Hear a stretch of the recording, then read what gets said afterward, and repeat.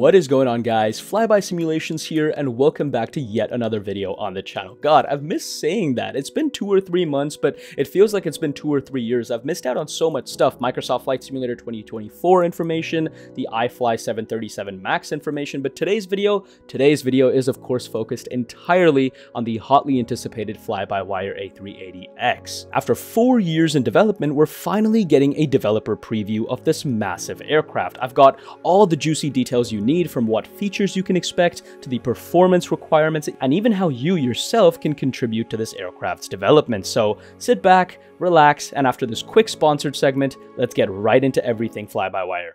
AweSun is a free-to-download application software from macOS, Windows, and Android that allows you to remotely control your PC using your phone. As can be seen here, I can monitor my flight, control the cameras, and even move things around as needed without having to be anywhere near my monitor. App does allow keyboard customization as well as mouse support and can also support games up to 144 FPS. Once again, that's AweSun Remote and you can find out more by clicking on the link in the description section of the video. Now, for those of you that don't know, the A380X was actually announced four years ago, and since then, it's evolved alongside updates to the A32NX. Fly-by-Wire has been open about their process and challenges in bringing the Super Jumbo to life in Microsoft Flight Simulator 2020. Today, we're getting an inside look at what the first developer preview or developer release version of this aircraft will offer. To all of us, by the way, this isn't just for some developers. Just to be clear, this is for everybody who has a simulator and is on PC. Unfortunately, not for you folks on Xbox. So what exactly can we expect from this release? Well, first things first, this release is going to be an open alpha developer preview as I said. This means that the aircraft will be flyable, but it's not yet a fully polished product. Certain features and systems will still be under development. The good news, however, is that you'll be able to perform a full A to B flight, and yes, even take it up on VATSIM. I'm not making this up, the latest NOTAM published by Fly-by-Wire confirms this. So VATSIM flying with the A380, Emirates routes anyone? Let me know down in the comment section below. But remember once again, some systems will be inactive or partially functional. Think of it like the A32NX when it first launched. It was barely flyable, but not complete. Fly-by-Wire is being very clear here. If you expect a bug-free experience, this release won't be for you just yet. It's designed primarily to open the aircraft up to contributors and give the community an early look of what this team has been up to for the last four years. Next up then, let's talk about performance because that's going to be a huge factor here for a lot of you folks. The A380X, as you can expect with these images and the videos that you guys are seeing in the background, is pushing the boundaries of what Microsoft Flight Simulator 2020 can handle, especially in terms of system depth and graphical fidelity.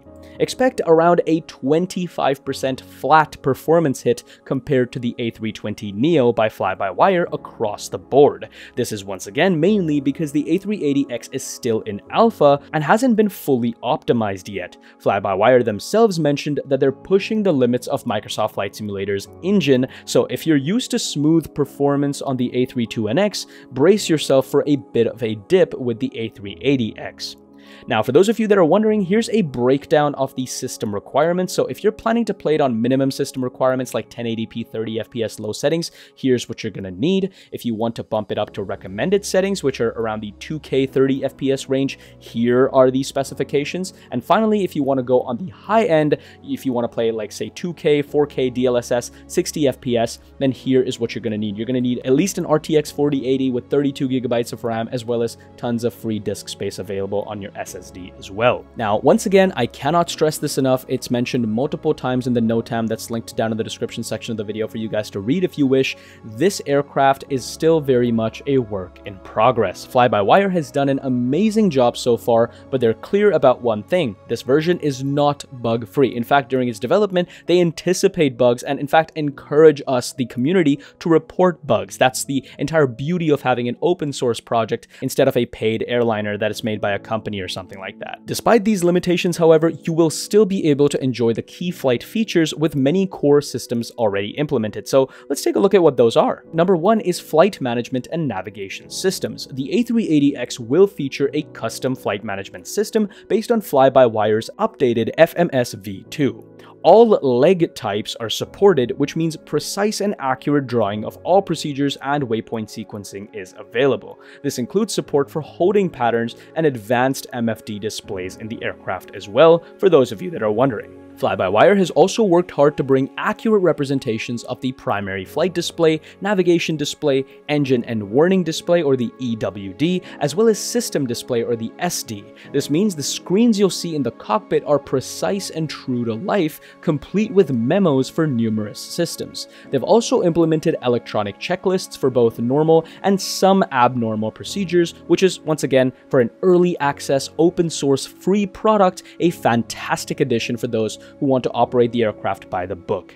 And of course, it goes without saying that the back-end systems like the electrical, pneumatic, air conditioning, fire protection are all also fully modeled. Fly-by-Wire has implemented over 140 failures as well, which feels crazy to say considering many full-fledged paid products don't have this, giving you the chance to simulate various emergency scenarios. However, just like the rest of the aircraft, full system simulation won't be guaranteed in this alpha. It's very much something that is going to improve over time. One of the standout features features of the A380X is the wing flex simulation, which I'm super excited to check out. You can see it in some of these shots here, how the wing flexes, the ailerons will flex from time to time, the vertical stabilizers will flex and so on. The wings are actually modeled as soft bodies that react dynamically to fuel load and wing loading during takeoff. You'll even see the famous aileron dance with triple ailerons on each wing. Pretty cool. And finally, for the obscure A380X specific features, Fly-by-Wire has also gone ahead and implemented features like the brake to vacate feature, which helps manage braking during landing to ensure you exit the runway at the correct spot. Additionally, there's also the runway overrun warning or protection system designed to minimize the risk of overshooting the runway itself. One of the key tools you will be using is the FlyPad OS v3 or the EFB, the iPad that sits in the A32NX if you're familiar with that, which has now been of course brought up to version 3 and made compatible with the A380. This includes throttle calibration options with four different throttles, payload weight, and balance settings for both the main and upper decks, which is something obviously new in the A380, and a four-class seating configuration. Fly-by-Wire has also included support for default ground services and preliminary GSX support. Now, they're saying that the GSX support will be included on launch most probably, but if it's not, then it should be coming shortly after launch. Next up, let's talk about some developer and contributor involvement. At the end of the day, we're all supposed to be contributors to this process when the aircraft finally comes out. So if you're an actual developer or someone interested in tangibly contributing to the project, Fly-by-Wire has officially opened up the A380X to external developers via GitHub. Whether it's system enhancements, bug fixes, or new features, Fly-by-Wire is encouraging everyone to get involved, as they're not just building a plane, they're building a community around this aircraft, just like they did with the A3 32NX. Now another massive kudos needs to go to the Fly-by-Wire texturing and modeling team. Fly-by-Wire's modeling team has spent thousands of hours crafting this aircraft, both inside and out. Led by somebody called Repsol, the textures are based on real-world photos and built using advanced tools like Adobe Substance Painter.